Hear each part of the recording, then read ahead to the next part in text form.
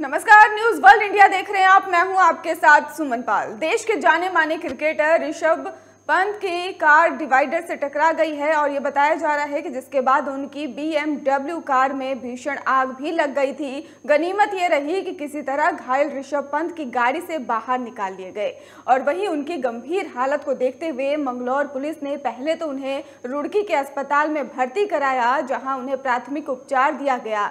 Police के मुताबिक उन्हें काफ़ी गंभीर चोटें आई हैं। उनके पैर में भी फ्रैक्चर हो गया है और जिसके बाद उन्हें हायर सेंटर के लिए रेफर कर दिया गया। वहीं कार में भीषण आग लगी है, जिससे फायर ब्रिगेड द्वारा बुझा भी लिया गया था। उनके परिजन और आसपास के लोगों में काफ़ी चिंता बनी हुई दिखाई दी और बता दें आपको कि उनकी कॉलोनी में इस वक्त सन्नाटा पसरा हुआ है। बताया जा रहा है कि ऋषभ पंत अपनी माँ से मिलने के लिए दिल्ली से रुड़की जा रहे थे और नारसन पार करते ही एन एच अट्ठावन में ही ये बड़ा हादसा हो गया।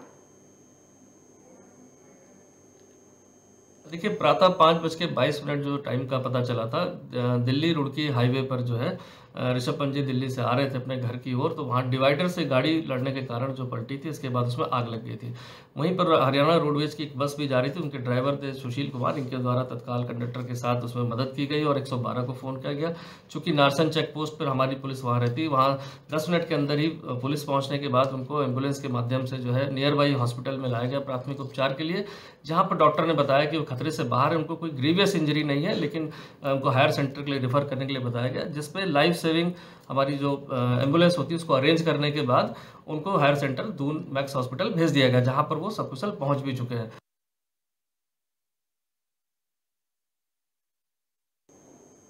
खबर पौड़ी से है, ज़िले वरिष्ठ पुलिस अधीक्षक श्वेता चौबे द्वारा आज वीडियो कॉन्फ्रेंसिंग के माध्यम से सभी क्षेत्रवासियों को नव वर्ष की पूर्व संध्या पर जनपद में शांति और कानून व्यवस्था बनाए रखने के निर्देश दिए गए हैं और एसएसपी ने सभी क्षेत्रवासियों को अपने क्षेत्रों के अंतर्गत ऐसे होटल और रेस्टोरेंट, ढाबों और बारों की सूची तैयार करने के निर्देश दिए हैं, जहाँ नौ साल के आगमन पर पार्टियों का आयोजन किया जाता है।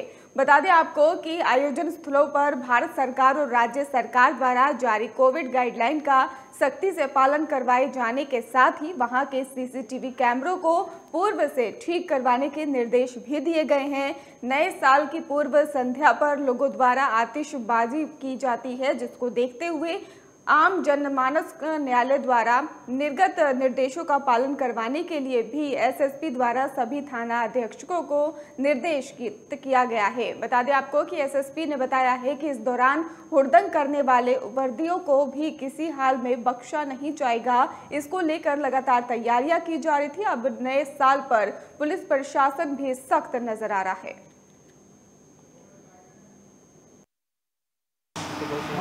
ऋषभ पंत की गाड़ी का दुर्घटनाग्रस्त होना हमारे लिए बहुत ही दुखद है और हम, लेकिन गाड़ी की हालत को देख के लगता नहीं है कि उस मतलब कोई उसके अंदर बच पाएगा। भगवान की बड़ी असीम कृपा रही कि हम ऋषभ पंत जो है उसमें से सुरक्षित, थोड़ा बहुत चोटिल होके निकल गए हैं। भगवान ने बहुत मतलब जो है उनके हम प्रार्थना करते हैं कि वो जल्दी से जल्द स्वस्थ हो जाएँ और क्षेत्र में बहुत ही सभी लोगों को दुख हुआ है इस बात का। हम उनके घर पर आए हुए हैं। उनकी मम्मी अभी घर पर नहीं मिली, वो भी हमें लगता है कि देहरादून मैक्सिमम चली गई होंगी। और हम उनके जल्द से जल्द स्वस्थ होने की कृपा करते हैं और वो मैदान में फिर अपना परचम लहरा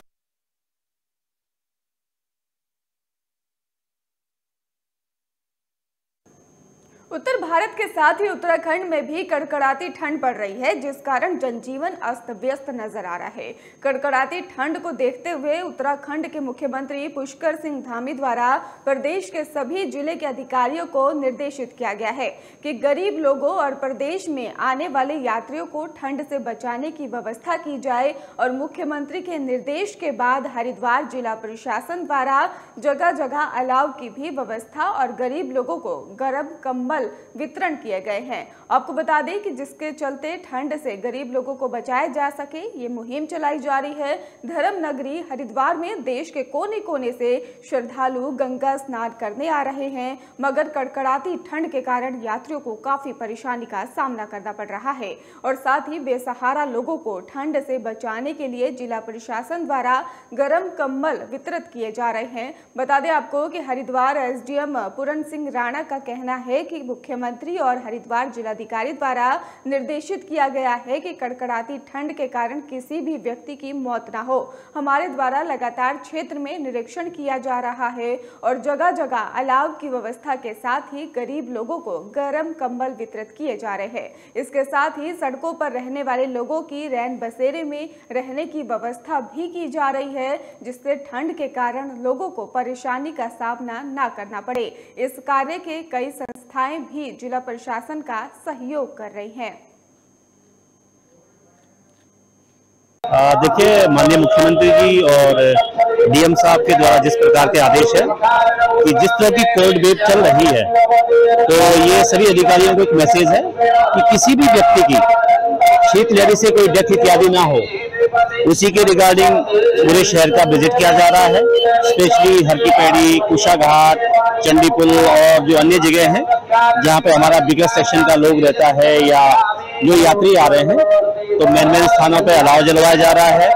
और इसके अलावा जो लोग रात को पुल इत्यादि के नीचे सोते हैं, उनसे भी रिक्वेस्ट भी किया जा रहा है कि जो रैन बसेरा स्थापित किए गए हैं लोगों के लिए। लोग रात्रि में उन्हीं पे निवास करें, ताकि शीत लहरी से किसी को कोई नुकसान ना हो। इसके रिगार्डिंग पूरी तरह से प्रशासन मुस्तरी के साथ काम कर रहा है। और उसके लिए सभी जो यहाँ पे गंगा सभा है, सेवा समिति है, और पंजाबी समुदाय है, जितने भी यहाँ पे स्विच और हमारे संत महात्मा हैं, सभी के द्वारा बड़ा हेल्प किया जा रहा है। किसी के द्वारा कंबल उपलब्ध कराए जा रहे हैं या लकड़ियाँ उपलब्ध कराई जा रही है तो जो भी चीज़ें हैं वो प्रॉपर किया जाएगा लोगों को एक बड़े क्षेत्र में कंबल इत्यादि वितरण किया गया है। तो जो भी चीज़ें रूटीन रहेगी और कंटिन्यू रहेगी।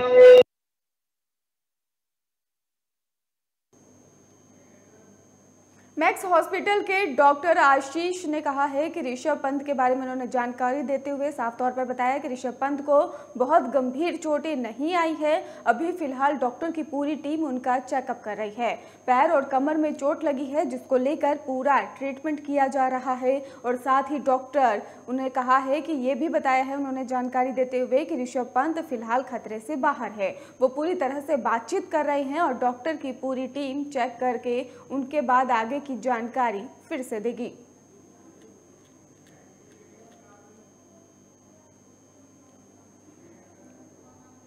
श्री गुरु गोविंद सिंह जी के प्रकाश उत्सव पर गुरुद्वारा श्री कलगीधर सिंह सभा की ओर से भव्य नगर कीर्तन का निकाला गया है। गुरुओं की महिमा का बखान करते हुए नगर कीर्तन की अगुवाई पंच प्यारे कर रहे थे। श्रद्धालु महिलाओं ने गुरु ग्रंथ साहिब की पालकी आगे झाड़ू से सड़क को साफ़ कर पानी का छिड़काव किया गया और नगर कीर्तन का जगह जगह पर पुष्प वर्षा कर स्वागत भी किया गया। नगर कीर्तन में शामिल गतका पार्टी ने ही परंपरागत युद्ध कौशल का प्रदर्शन किया और नगर कीर्तन में फूलों से सजी पालकी में श्री गुरु ग्रंथ साहिब का स्वरूप विराजित किया गया।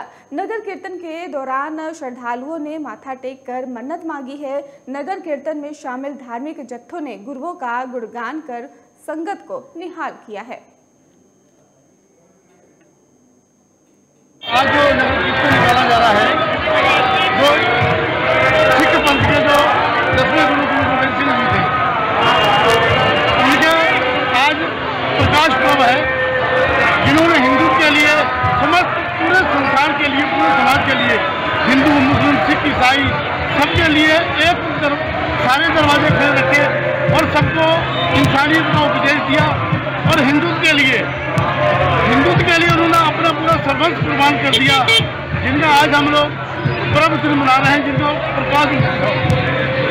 समस्त भारत को और पूरे पूरे प्रांतवासियों देशवासियों को एक सूत्र में रहने का और एक मिलकर भाईचारे रहने का सबको संदेश दिया और उनकी आज जन्मदिन है।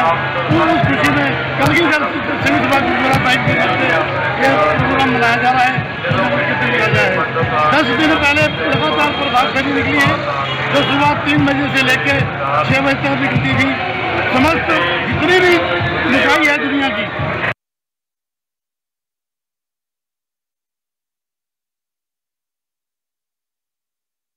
ऋषिकेश एम्स की सुरक्षा में तैनात आउटसोर्स कंपनी के सैकड़ों सिक्योरिटी गार्ड नौकरी से निकाले जाने पर भड़क गए हैं। सिक्योरिटी गार्ड्स ने एम्स परिसर में एम्स प्रशासन के खिलाफ जमकर नारेबाजी करते हुए प्रदर्शन किया है।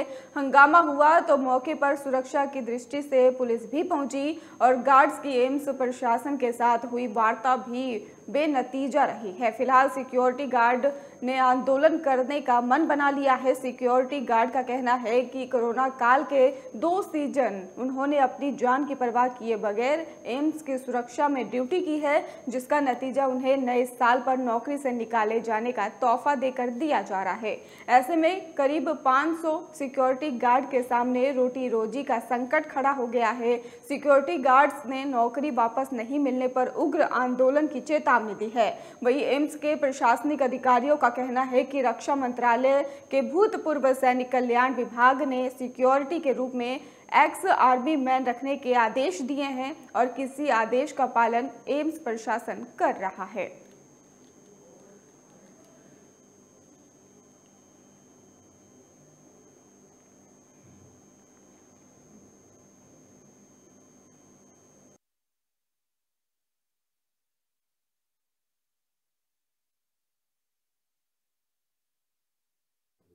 देखिए, एक ऐसा है कि हमारे पास डायरेक्टरेट जनरल ऑफ़ रिसेटलमेंट से सिक्योरिटी गार्ड लेने का आदेश आया हुआ है, जो हमने कागज़ जो है लेटर्स जो आ रखे हैं, वो आप लोगों के साथ हमने शेयर किया है। उसमें उन्होंने बोला है कि through directorate general of resettlement ही हमारे को सिक्योरिटी गार्ड लेना है। इनको लेने का हमारे पास, हमारे को दिवाली से ये हो रहा था उनको पूछा जा रहा था कि क्यों नहीं रखे तो वो फेस्टिव सीज़न रहने के कारण हमने उस टाइम में थोड़ा सा डिले किया था टाइम मांगा था। आज की तारीख में सिक्योरिटी गार्ड जो है, उनके लिए हमने ये बोला है कि एक महीने का जो प्रिंसिपल सिक्योरिटी जोन का एम्प्लॉयर एम्स ऋषिकेश नहीं है, उनका एम्प्लॉयर है principal securities and elite services उनको हमने बोला है कि एक महीने का टाइम देने के लिए और जैसे भी कोई भी ओपनिंग प्रिंसिपल सिक्योरिटीज के तरफ़ से निकले, वो ओपनिंग के थ्रू उनको एब्जॉर्व किया जाए। मेन नंबर गेट टीम पे ठीक है? मैंने साहब कोविड काल में यहाँ पे काम किया है और उस, उस दौरान मैंने देखा है कि हम गार्डों को वो कार्य किया गया है कि जैसे पीपी किट पहनना इमरजेंसी में जो पेशेंट आ रहे थे वो हमको ही डॉक्टर समझ रहे थे क्योंकि उस टाइम पे सामने फेस हमने ही करना पड़ा ठीक है? और विश्वास नहीं करोगे साहब ये कार्य करते करते मैंने अपने छः महीने के बच्चे को पॉजिटिव अपनी नौ साल की बेटी को पॉजिटिव अपनी वाइफ को पॉजिटिव मैंने अपने घर में कितने पॉजिटिव किए हैं? साहब 18 दिन के जब हमें लॉक किया गया घर में यहाँ पे एम्स प्रशासन की तरफ़ से और हमारे सिक्योरिटी गार्ड की तरफ़ से कोई सेवा उपलब्ध नहीं कराई गई और हमारी सैलरी काटी गई और हमको बीच बीच में फ़ोन करके कहा तो ये नौकरी से हटा देंगे। ठीक है? सेवा का ये आपको परिणाम मिल रहा है है? दो दिन पहले नोटिस बोर्ड दूसरा साहब इन लोगों ने क्या करा कि हम लोगों को सिविलियन को हटाने के लिए एक षड्यंत्र रचा जो एक साल पहले से रच रच चुके हैं ये। इन्होंने हटाने के लिए क्या करा? सब प्रयास किया। साहब विश्वास नहीं करोगे आप कि क्या कहते हैं लोगों को बिल्कुल खड़ा रखा है दो टांगों पे। अगर दो मिनट के लिए भी एक बंदे के पेड़ में रोड पड़ी हुई थी तो मैंने एक साहब को कहा मैंने साहब इसको बैठा दो।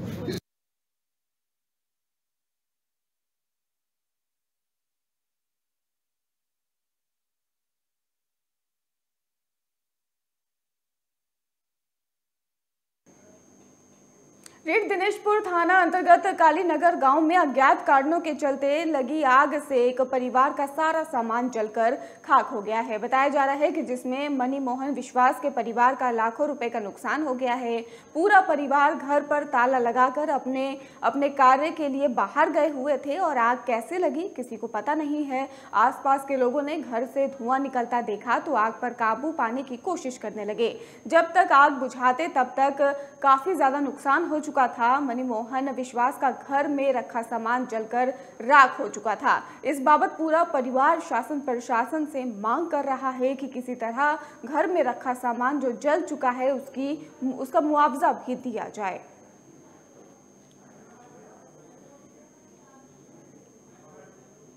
तो आपको बता दें, दिनेशपुर से खबर है, जहाँ पर आग से लाखों का सामान जलकर राख हो गया है। बताया जा रहा है कि अज्ञात कारणों के कारण ये भीषण आग लगी है। बताया आपको कि गाँव के जो ग्रामीण है, वो लगातार आग बुझाने की कोशिश कर रहे थे। उससे पहले ही आग इतनी भयंकर थी कि सारा सामान जलकर राख हो चुका है। ये भी जानकारी सामने आई है कि लगातार पीड़ित परिवार मुआवजे की मांग कर रहा है।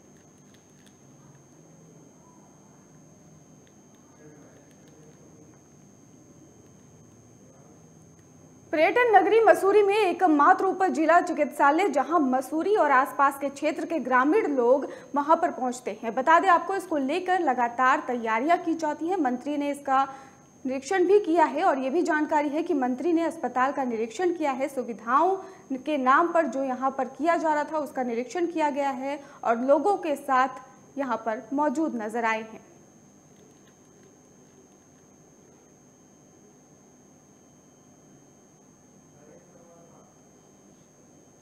और इसी खबर पर हमारे साथ मसूरी से हमारे सहयोगी नरेश हमारे साथ जुड़ चुके हैं। नरेश, जिस तरह से बताया जा रहा है कि निरीक्षण किया है मंत्री ने अस्पताल का, क्या कुछ सामने निकल कर आया है?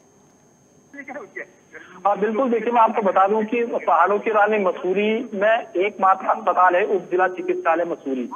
जहाँ पे मसूरी और आसपास का जो क्षेत्र है, वहाँ से लोग वहाँ पे अपना इलाज करने के लिए आते हैं, लेकिन इलाज के नाम पे बिल्कुल यहाँ पे लोगों के साथ छलावा किया जाता है। यहाँ डॉक्टर पूरे नहीं है सफ़ाई कर्मचारी पूरे नहीं है।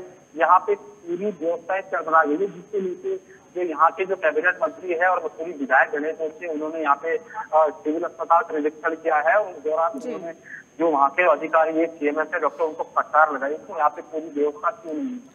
सफ़ाई को लेकर भी यहाँ पे व्यवस्था नहीं है चारों तरफ़ गंदगी पड़ी हुई है। यहाँ पे जो दूर दराज के गाँव के आसपास के जो लोग यहाँ पे इलाज करने के लिए आते हैं उनको इलाज नहीं मिल पाता है। तो उन्होंने उनको फटकार लगाई जिसको लेके उन्होंने सचिव स्वास्थ्य सचिव उनसे वार्ता की कि यहाँ पे जितनी भी जो व्यवस्था है उसको पूरा किया जाए जो कमियाँ है यहाँ पे डॉक्टर डॉक्टर्स की कमी उसको पूरा कर दिया। तो उनको उनसे जब वार्ता की गई है तो सचिव स्वास्थ्य उन्होंने बताया है कि जो वहाँ पे जिला चिकित्सालय में भी कमियाँ है उसको दूर किया जाएगा। और ये कुछ ही दो चार दिन के अंदर ही जो यहाँ पे डॉक्टर की जो तैनाती होनी थी किसी कारण बस उसको अटैच करते गया है उसको भी यहाँ पे कल ही इनको यहाँ पे भेजा जाएगा। तो निश्चित ही जो कैबिनेट मंत्री ने इनको फटकार लगाई है उसका बिल्कुल नरेश ये भी जानकारी सामने आ रही है की सुविधाओं को लेकर यहाँ पर लापरवाही देखने को भी मिली है।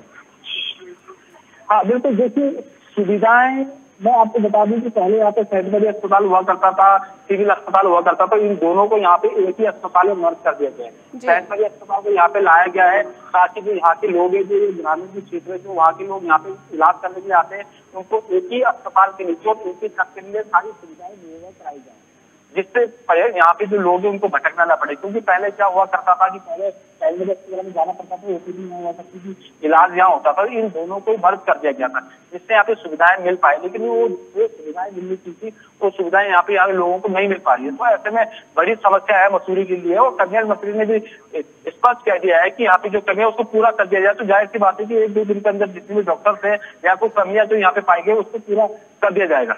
जी जी नरेश, आपका बहुत बहुत शुक्रिया हमारे साथ जुड़ने के लिए और अहम जानकारी देने के लिए। तो मसूरी से आपको खबर बता रहे थे, जहाँ पर बताया जा रहा है कि मंत्री ने अस्पताल का निरीक्षण किया है और सुविधाओं के नाम पर जो लापरवाही दिखी जा रही है, उसको लेकर भी अब मंत्री सख्त नज़र आ रहे हैं।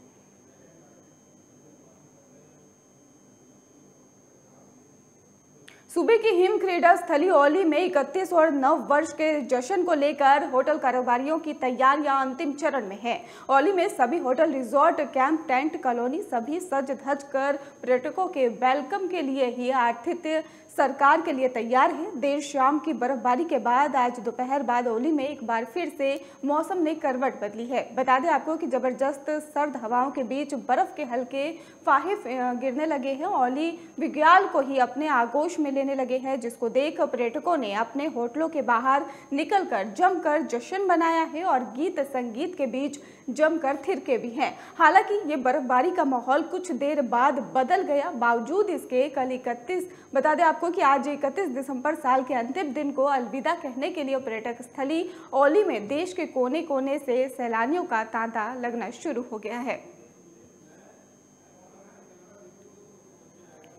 और इसी खबर पर हमारे साथ हमारे सहयोगी पुष्कर नेगी हमारे साथ जुड़ चुके हैं। पुष्कर सैलानियों का तांता लगना शुरू हो गया है। नए साल का वेलकम होने जा रहा है।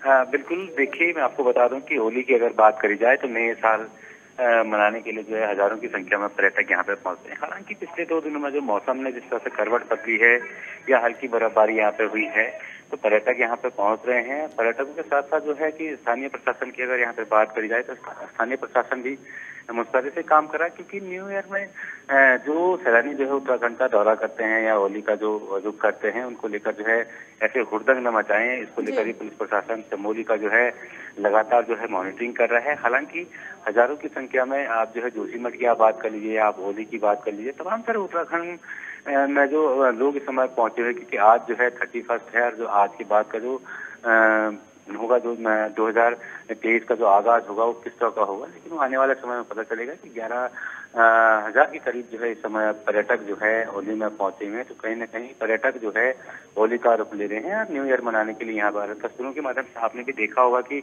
यहाँ पे जो गढ़वाली गाने हैं या जो जो लोक संस्कृति जो गढ़वाल की है इसको लेकर यहाँ पे पर्यटक जो है नाचते घूमते और आग को सेकते क्योंकि अधिक ठंडा होने के कारण जो है यहाँ पे जो है यात्री जो है आग सेकते हुए नज़र भी आए। लेकिन आज का मौसम जो है बड़ा खुशनुमा है यहाँ जो है पूरे उत्तराखंड में जो है चटक धूप खिली है। अगर होली की अगर बात करी जाए तो ओली में भी इस समय धूप खिली है और हज़ारों की संख्या में पर्यटक यहाँ पे न्यू ईयर सेलिब्रेट करने को पहुँच रहे हैं। बिल्कुल पुष्कर नेगी यहाँ पर पर्यटक हर साल की तरह इस साल भी नए साल का जश्न मनाने के लिए पहुँच रहे हैं। अगर सुरक्षा व्यवस्था की अगर इंतज़ाम की बात की जाए तो कड़े इंतज़ाम होने चाहिए इसको लेकर। तो वहाँ पे सुरक्षा व्यवस्था जो देखी जा रही है वो किस तरह की देखी जा रही हाँ, बिल्कुल बिल्कुल। देखिए, आपने आपने सही कहा कि जिस तरह से सुरक्षा व्यवस्था की अगर पूरे उत्तराखंड में बात करी जाए, चाहे आप देहरादून की आप बात कर लीजिए, या आप जो है मसूरी की बात कर लीजिए, या आप जो है रुद्रप्रयाग ज़िले की बात कर लीजिए, या आप जो है नैनीताल ज़िले की बात करें, क्योंकि पर्यटक जो है पहाड़ी जिलों का दौरा करता है, क्योंकि यहाँ पे जो है विंटर वैकेशन जो जो सर्दी का मौसम है, यहाँ पे जो है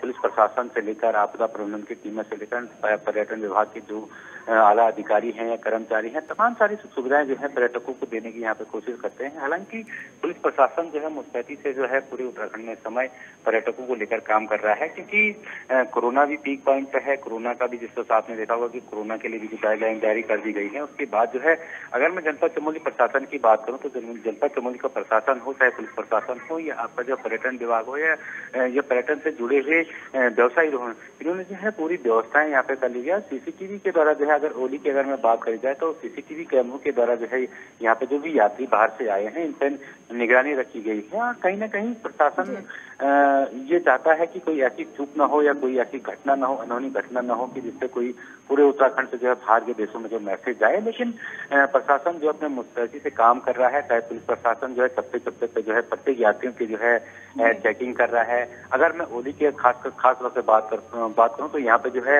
आर्मी भी हमारी रहती है आईटीबीपी रहती है गढ़वाल स्काउट रहता है। तो इनका प्रोटोकॉल अलग ही होता है लेकिन इस एरिया में हुड़दंग नहीं हो पाता है। लेकिन हुड़दंगियों पर नकल कशील कसने के लिए जो है पुलिस प्रशासन हो चाहे आपका स्थानीय प्रशासन हो, तमाम सारी गाइडलाइनें जारी भी कर दी गई हैं और इनका वगैरह जो है होटलों में यदि आप रह रहे हैं तो इनका जो आधार कार्ड से लेकर आपका वोटर आई कार्ड से लेकर सब इसको नोट किया जा रहा है।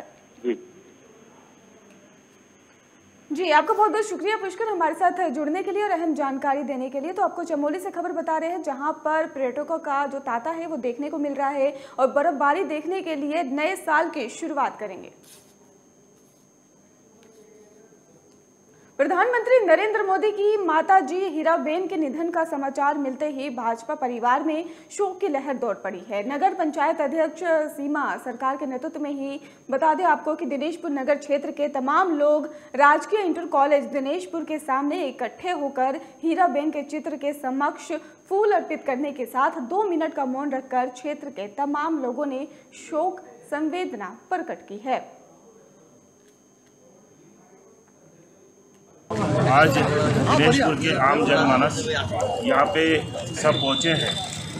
विषय, यशस्वी प्रधानमंत्री आदरणीय नरेंद्र मोदी जी की माता जी का आज देहांत हुआ है और पूरे जनमास दिनेशपुर के व्यापारी भाई भी यहाँ पहुँचे हैं और हीरा बहन को आज श्रद्धांजलि अर्पित कर रहे हैं। प्रधानमंत्री माँ का देहांत हो गया उसको। हम श्रद्धा से श्रद्धांजलि किए और उनके दुख के साथ श्रद्धांजलि का अर्पित किए पूरे नगरवासी एवं वो दिनेशपुर वासियों ने सभी मिलके इस दुख घट, दुख की घड़ी में उनका श्रद्धांजलि अर्पित किए गए